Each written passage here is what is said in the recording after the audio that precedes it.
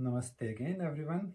So in this little video we're going to introduce the eight limbs or of Ashtanga Yoga as Patanjali describes. Ashtanga, Ashta is the eight and then Anga is the limbs, the steps or or a progressive overlapping concepts and ideas of yogic lifestyle. And in the second chapter, Patanjali has this beautiful sutra. So we'll chant that first.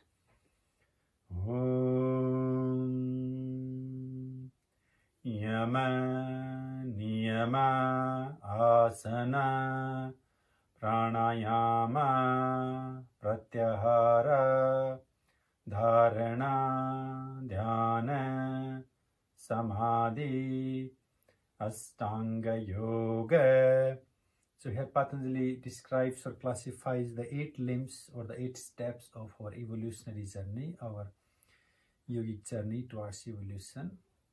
First line, limb is yama. Yamas are the restraints, the moral and moral and ethical restraints or observations that we need to follow.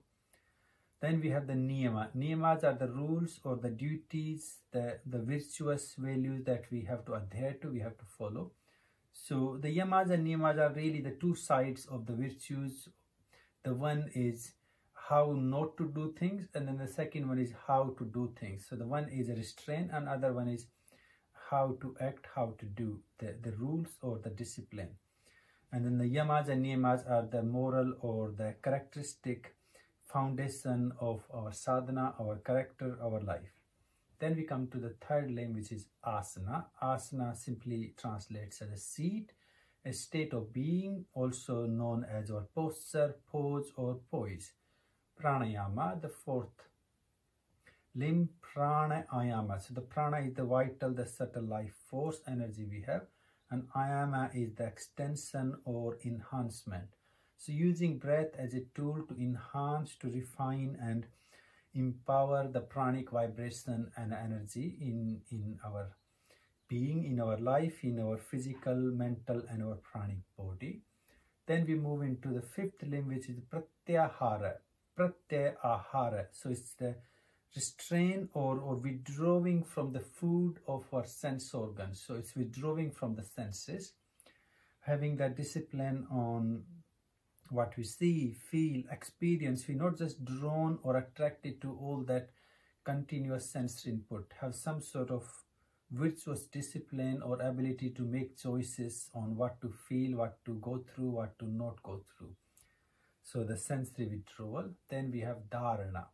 Dharana is the ability to focus or concentrate our mind on one or single point. And when we master that state of single pointed focus or concentration, when that becomes a, a fruitful habit, then then we start to live into into that that focus, that concentrated mind known as dhyana or, or meditation. And then the last ultimate goal of our samadhi is is the samadhi, the complete union or absorption. So these are the eight limbs. Thank you.